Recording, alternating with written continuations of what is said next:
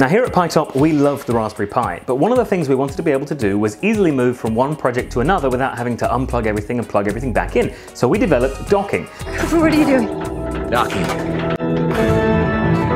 Docking is this really easy system where you can take the pi-top out of whatever system you've got it installed in, and then you can just dock it onto something else.